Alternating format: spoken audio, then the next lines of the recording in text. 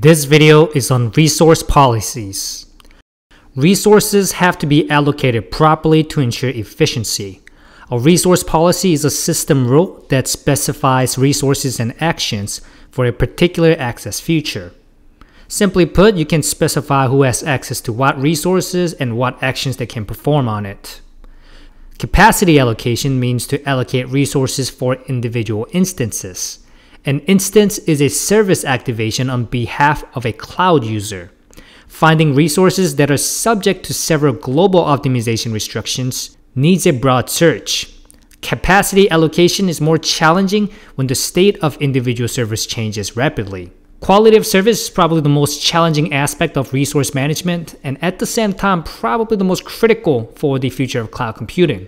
Customers want instant service, but businesses have to factor in cost to benefit.